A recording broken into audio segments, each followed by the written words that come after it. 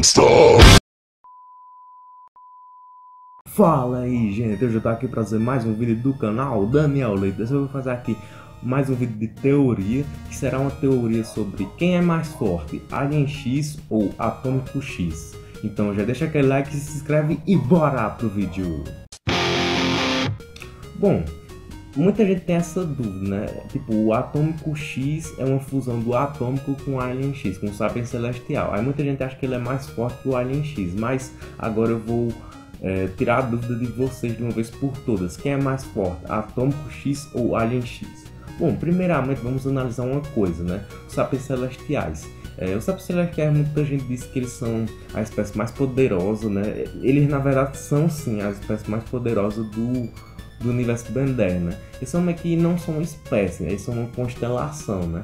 Aí eles vivem lá no espaço, né, no centro da criação, mas não só lá, né? Porque no universo a gente vê que tem o gladiador galáctico, né? Que ele, que ele fica fora do centro da criação, então provavelmente fica aí em algum lugar do universo, né? Aí o Azimuth provavelmente só conseguiu o DNA dele por causa do professor Paradoxo, né? Que viajou no tempo lá e conseguiu tudo.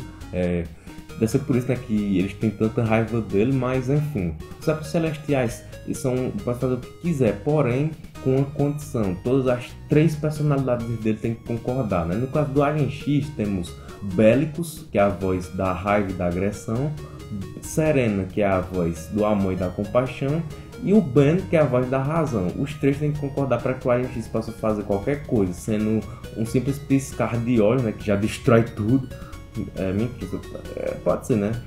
Não sei quanto poder é, o Alien X tem, mas pode ser que o Kevin já disse que ele pode matar você só com um piscar de olhos.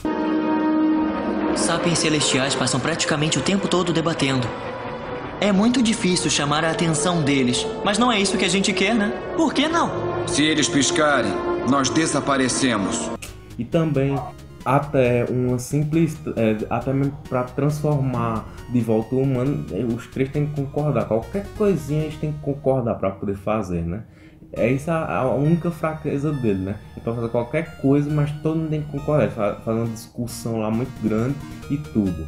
E o Atômico X ele mostrou que não tem isso. Ele pode tomar suas próprias decisões pode fazer o que ele quiser sem ter que falar com ninguém. Ele não tem essas três personalidades Aí eu acredito que as personalidades são as que dão poder ao Alien X, né?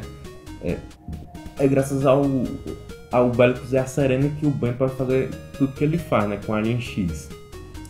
Mas o Atômico X não tem isso. Provavelmente é por isso que ele não é tão poderoso como o Alien X. Por quê? Olha aí.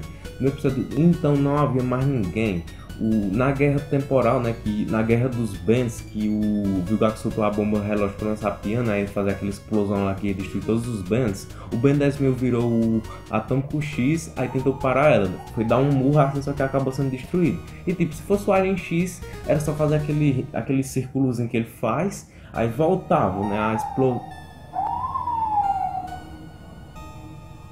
Aí voltava a explosão, não ia ter nenhuma dificuldade. E no episódio do fim de uma era, o Atômico X apanhou pro Maltruant, né? E assim, o Alien X não tem nenhuma dificuldade para derrotar seus inimigos, ele derrota na hora se ele puder, né? Só não, tipo, inimigos como o Gladiador são no nível dele, né? Ele teve que ter uma luta séria. É, mas a, a, teoria é o seguinte, que o atômico X ele tem somente uma parte do poder do Alien X e é mais atômico, né? Ele é mais atômico que Alien X, ele tem aquelas, aqueles poderes de explosão lá, por exemplo, do Kamehameha, né? Que chama Kamehameha, é, ele tem mais esse tipo de poder, né? Ele tem um pouco de poder do Alien X, como naquele episódio lá, o Então Navio Ben, ele só fez assim, o Petele derrotou o o Vilgax também tem o teletransporte. Lá tem algumas coisas do Alien X, mas é mais atômico. Tipo, é como se fosse 70% atômico e, e 20 e 30% Alien X. É tipo isso.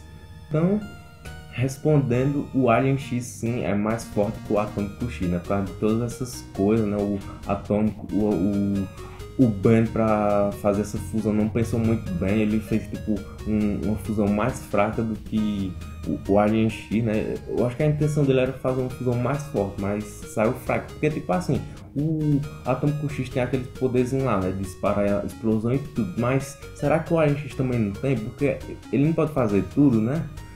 É, então, se ele quiser dizer assim, é, eu quero ter os poderes do atômico, eu quero poder ter os poderes do chama, eu quero ter os poderes do massa cinzenta. Aí pronto, é só ele falar, aí a personagem concordar e aí ele tem poder. Você já parou pra pensar nisso? Ele pode ter o poder de qualquer alien só pedindo, porque que qualquer coisa que ele quiser fazer, ele faz. Então ele é muito mais poderoso do que qualquer alien, qualquer espécie, qualquer herói ou vilão de 10. Até mesmo que o Atômico X.